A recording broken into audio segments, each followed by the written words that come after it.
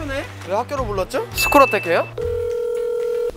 안녕하세요. 제보를 제가 확인을 했는데 훈훈한 사연을 적어 주셨더라고요. 집 가고 있었는데 너 너무 피곤할 텐가 이러면서 가방을 이렇게 들어주시는 거야. 평소에 무겁게 들고 다녀요 가방을? 여섯 권씩은 들고 가는 거야. 그 가방 제가 들어주면 어떨 것 같아요? 어, 너무 좋죠. 가방 들어주러 나 여기까지 왔다고? 실홥니까? 엄청 무겁게 가고. 다 들고 다녔으니까 거의 7교시다 이러면 책 7개 학원책 두세 개 들어가면 어, 뭐 3년 쓰면은 다 뜯어져요 누가 해준다 그러면 진짜 고마울 것 같긴 해요 그건 그분이 자원하신 거 아니에요?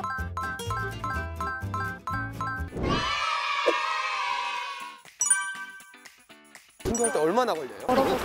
가방 같은 거 무겁거나 그런 건 전혀 없어요 무거워요. 살짝 들어봐도 돼요? 와 무거운데? 대학생 전공 도서보다 무거운데? 주에 한 번씩 학교로 오다 보니까 네. 책을 다 가져갔다가 다시 들고 와야 돼서 아 맞네 학교에 두고 다니지를 못하네 얼마나 걸려요 등교할 때? 20분 좀 조금 가깝네요? 가방 안 무거워요? 튼튼해서? 들만해. 전혀 안 들... 야 잠깐만 이거 10kg 넘을 것 같은데?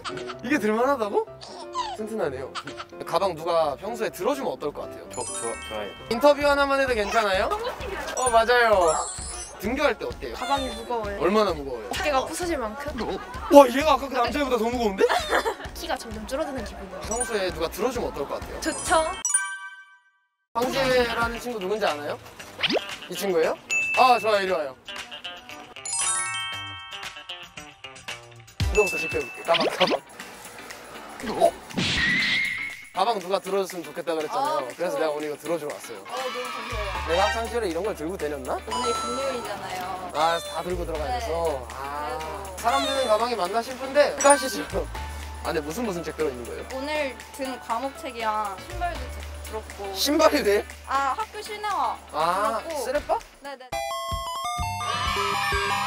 중간고사 준비 잘 돼가요? 준비라는 게 뭐죠? 준비라는 건 이제 네. 시험 공부를 하고 선생님이 한 말을 기억하고 선생님 말씀은 항상 기억하고 있어요. 어떤 말씀? 국어 문학 시간에 아침에 엄마가 재활용품을 치우라고 하셨나 봐요. 네. 자다 일어나서 11시까지인데 10시에 허겁지겁 일어나셔서 결론적으로 내신 시험과 관련 있는 건 하나도 기억 안 나고 아니죠 아니죠 기억난다는 거죠.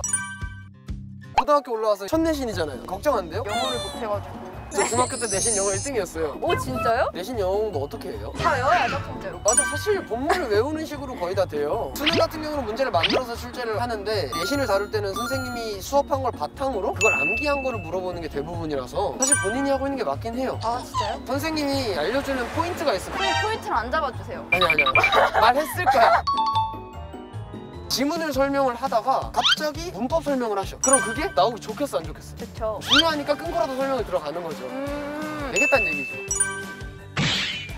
근데 아마 학년이 올라갈수록 수능을 봐야 되잖아 우리가. 네. 그러다 보면은 정시 영어가 섞여 들어. 내신은 그냥 암기라면 수능은 조금 더 스킬도 필요하고 글의 내용을 많이 보는 거. 음. 우리가 볼 만한 영어 구조는 paraphrasing이라는 게 있어요 네. 패러프레이징 그걸 다시 바꿔 말하기라고 하거든 아. 그러니까 예를 들어서 네. 어려운 말 하나 던져주고 쉬운 말을 풀어주는 거야. 당장 내가 어려운 말을 보고 딱 이해가 안 갔더라도 밑에 걸 보면서 찾아보는 거야. 끼워 맞추기를 해야 돼요. 음. 그런 게 되게 중요해. 할 수 있겠죠? 할 수 있겠죠. 걱정 안 해도 돼요. 잘할 거예요. 사실 인생의 반은 자신감이에요. 그 말씀 다 할 수 있어요. 해볼게요. 오늘 아 내일부터 할게요. 다이어트예요? 공부는 다이어트가 아니에요.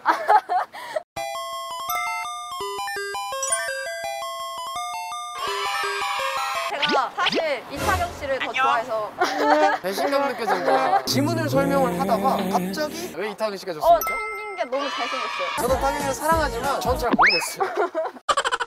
학원 가요 오늘? 안 가요. 맛있는 거 먹을래? 네. 뭐 먹고 싶어요? 같이 먹으면 뭐든 맛있지 않을까요? 오, 오 이타경 좋아한다더니. 오. 학교 끝나면 지금 시간 집에 가서 월수는 학원에서 한 10시간 하고 화목은 7시부터 9시까지. 아 빡세다. 스트레스는 어떻게 풀어? 그럼? 맨날 자고. 자고? 3시간 잔다며 네. 꼴랑 그거 자고 스트레스가 풀리면 나한 13시간 자야 풀리던데? 주말에 자죠 10시간 자지 않을까요? 일요일은 어차피 밤에 과외가 있어가지고 낮엔 좀 자도 되거든요. 거의 재수학원급인데 일정이? 학교에서 재밌는 일 없었어요? 난타 수행평가 봤는데. 스트레스 확실히 풀겠네. 수행평가 찍어놔가지고. 박자 감각이 똥이구만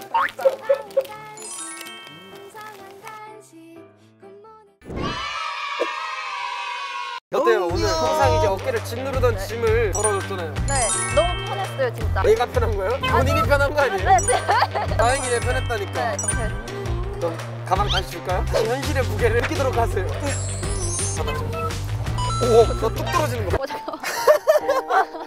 이거 어떻게 앞으로 메고 다니는 거야? 난 그게 더 신기해 앞이 보니 더 가벼워요. 조심히 들어가십시오 안녕히 계세요. 계세요. 안녕 조심히 가요 네. 수업 잘 듣고 잘 가라 안녕히 가세요. 아 그럼 이만. 아, 확실히 옛날 생각 딱 난다. 어릴 때 가방 메고 다녔다는 생각 엄청 많이 나요. 사람 얼마 없는 버스에서도 등이 계속 치더라고요. 지들끼리 계속 이렇게 칠 거 아니야, 등이. 어, 애들 어떡하지? 엄청 힘들겠구나, 라는 생각 들었죠. 네, 여러분. 유니브 팬카페가 생겼다고 합니다. 이름은 유니버시티라고 하는데요. 유니브 클래스에서 다루었으면 하는 주제나 아이템, 사연 같은 것도 많이 남겨주시고 유니브 클래스 구독하고 좋아요 잊지 마세요.